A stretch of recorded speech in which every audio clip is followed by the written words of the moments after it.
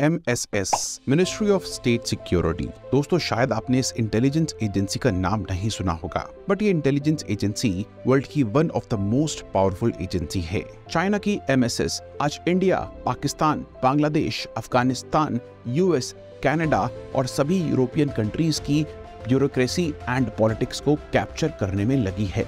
और चाइना के इंटरेस्ट के लिए काम कर रही है। चाइनीज़ इंटेलिजेंस ऑफिसर्स इन कंट्रीज़ के writers publishing houses alumni association newspapers charities को भी ब्राइब और गिफ्ट्स के थ्रू कंट्रोल करने में लगे हैं। दोस्तों इंडिया में एमएसएस एक्टिवली इन्वॉल्व है। एमएसएस इंडिया में मनी पावर के थ्रू लॉबिस्ट खरीद रही है, जो इंडियन पॉलिसीज़ की डायरेक्शन को प्रो चाइना करने में लगी है। दोस्तों, इसके अलावा एमएसएस बॉलीवुड एंड इन्फ्लुएंसर्स को भी फंड कर रहा है, जिससे कि आम इंडियन जनता का व्यू भी प्रो चाइना किया जा सके।